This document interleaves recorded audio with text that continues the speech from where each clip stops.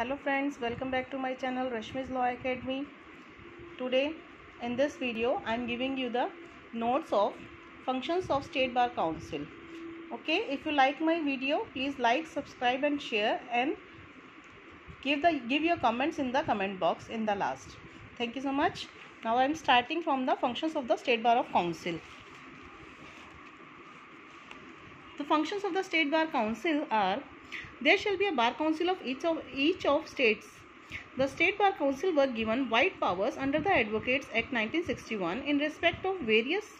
matters. The, the Act also provides for the general supervision and control of Bar Council of India over all state bar councils in order to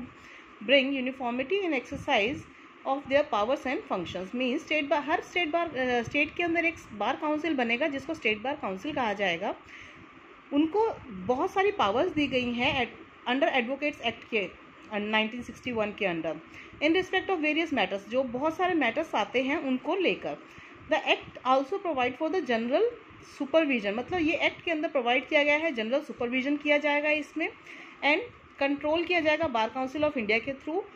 overall state bar state bar council पे। मतलब हर state bar state के bar council के ऊपर जो भी control होगा, वो सारा बार काउंसिल ऑफ़ इंडिया का होगा। इन ऑर्डर टू ब्रिंग मतलब यूनिफॉर्मिटी लाने के लिए एक्सरसाइज में उनके पावर्स एंड फ़ंक्शंस को वो हर स्टेट बार काउंसिल जो है किस ढंग से काम करता है उसको देखने के लिए सुपरविजन करने के लिए और उसकी पा, उसके पावर्स और फ़ंक्शंस को सुपरवाइज करने के लिए कि वो अपने पावर्स और फ़ंक्शंस का किस तरह से यूज़ कर रहे हैं। तो इनकी मैं आपको फ़ंक्शंस बताती हूँ स्टेट बार काउंसिल के क्या क्या फ़ंक्शंस होते हैं जो वो परफॉर्म करते हैं। According to section six of the advocates act nineteen sixty one the following are the functions of the state bar council Number 1. The functions of the State Bar Council shall be, number A. To admit persons as advocate on its roll. मतलब advocates को admit करते हैं, जो लोग law की degree ले लेते हैं, जो लॉयर बन जाते हैं मीन्स उन्हें एडवोकेट की बार काउंसिल के अंदर रोल में अपना नेम नॉमिनेट करवाना पड़ता है एडमिट करवाना पड़ता है तो ये काम स्टेट बार काउंसिल का होता है कि आप जिस स्टेट में करवाना चाहते हैं, जैसे अगर आप यूपी के हैं तो यूपी से दिल्ली के हैं तो दिल्ली से या किसी और स्टेट के हैं तो आप अपने स्टेट बार काउंसिल के अंदर ही जाके अपना नाम एडमिट करवा सकते हैं। तो वो स्टेट बार काउंसिल आपका खुद भी खुद नाम कर लेता है जब आपके पास प्रोफेशनल डिग्री होती है इसकी। सेकंड है to prepare and maintain such roll मतलब जो जो जो लोग एडवोकेट्स ने अपना नेम एडमिट करवा लिया है, उनके नेम्स का रोल को मेंटेन करना प्रिपेयर करना, ये bar council, state bar council का काम है। To entertain and determine cases of misconduct against advocates on its sole अगर कुछ एडवोकेट्स के थ्रू मिसकंडक्ट हो जाता है अपने काम के थ्रू काम करते करते तो उनकी प्रॉब्लम्स को, उनकी कंप्लेंट्स को, उनकी एप्लीकेशंस को डिटरमाइन करती हैं state bar council to safeguard the rights privileges and interest of the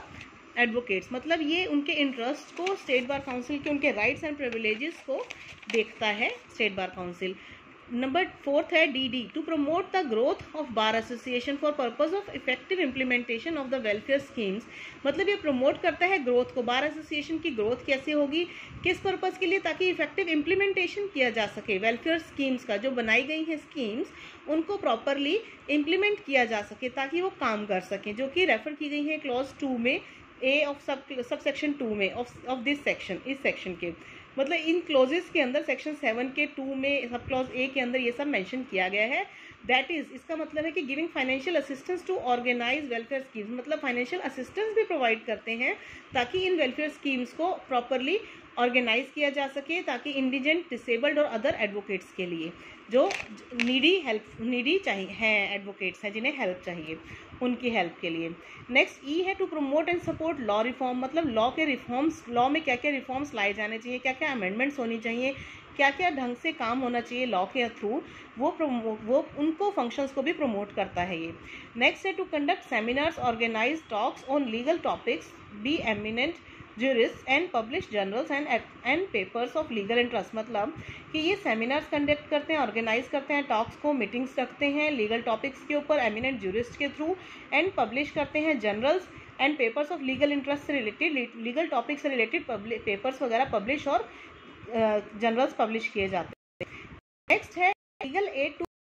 prescribe ये जाती है जो एडवोकेट कर सकते पैसा खर्च कर उन्हें फ्री में लीगल एड भी प्रोवाइड किया जाता है।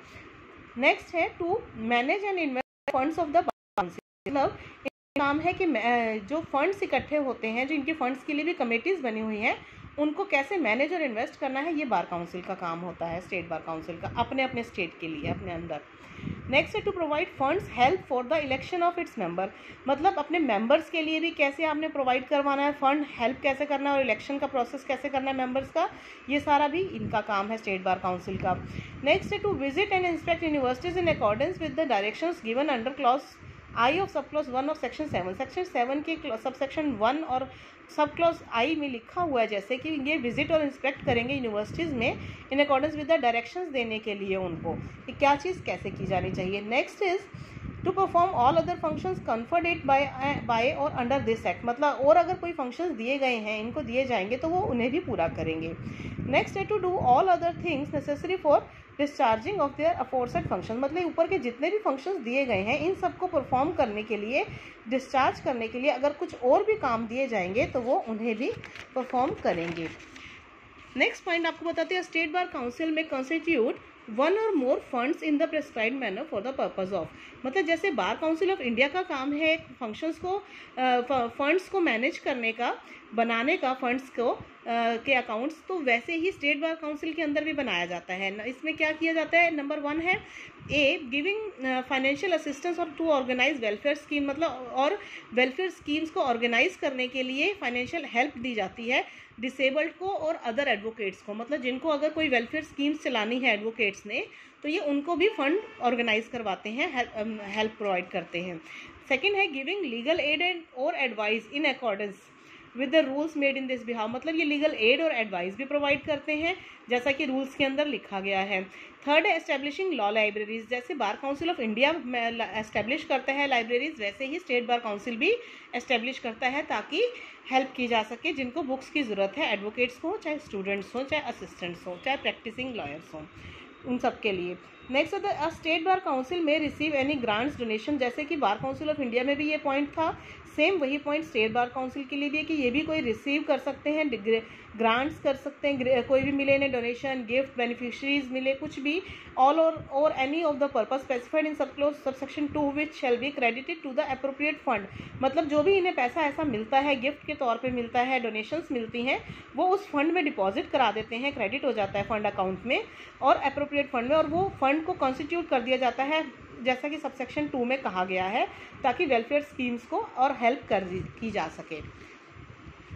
डिस्प्यूट्स रिगार्डिंग सीनियोरिटी उसमें अगर कोई डिस्प्यूट अगर आता है according to section twenty one of the advocates act nineteen sixty one अगर कोई डिस्प्यूट सीनियोरिटी को लेकर होता है तो where where the date of seniority of two or more person in the is the same अगर दो या दो से ज़्यादा लोगों की सीनियोरिटी की डेट सेम हो जाती है तो the one senior in age जिसकी एज ज़्यादा होती है सीनियर की shall be record as senior to the other मतलब